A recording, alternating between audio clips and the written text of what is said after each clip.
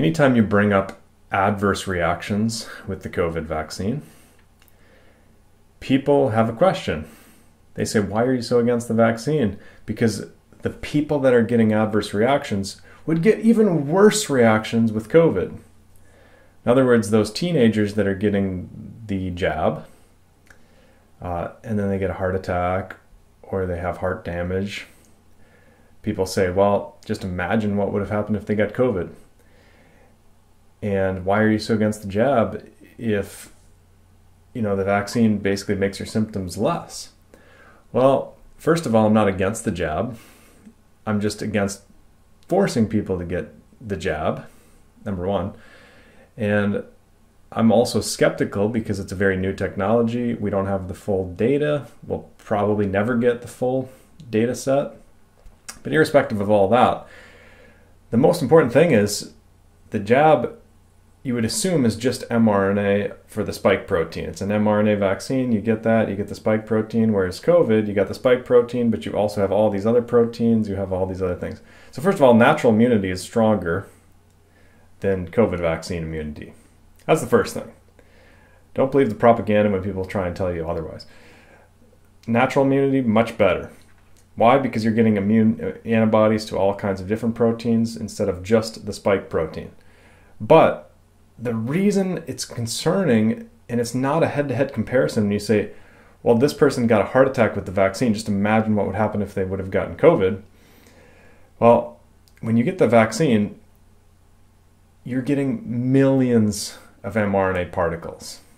Now, of course, we don't have the data, and they'll probably never release that data.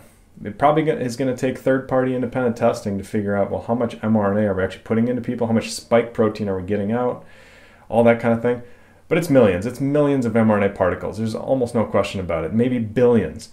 Now, when you get the actual COVID virus, there's usually a few thousand right? A few thousand viral particles, a few thousand uh, spike proteins.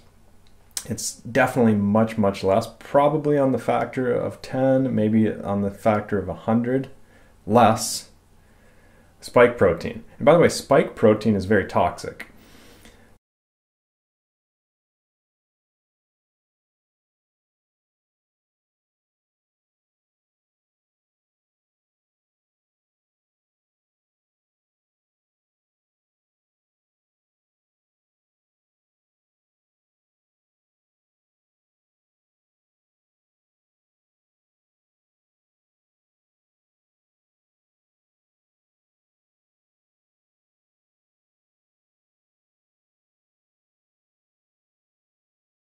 So spike protein causes blood clotting. It causes a lot of these these issues that see people women are seeing with their period, for example, just blood clotting issues, stickiness in your blood. So when you're the problem again with comparing the vaccine with actual COVID is the vaccine is overdosing the spike protein. You're hitting it really hard. So it's not really a head to head comparison. So when people say, you got a heart attack when you had the vaccine. Just imagine what would have happened if you had COVID.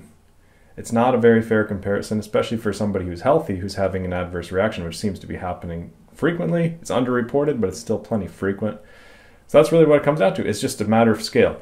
We're putting in loads of these toxic spike proteins via the vaccine versus actual COVID, which has a lot less.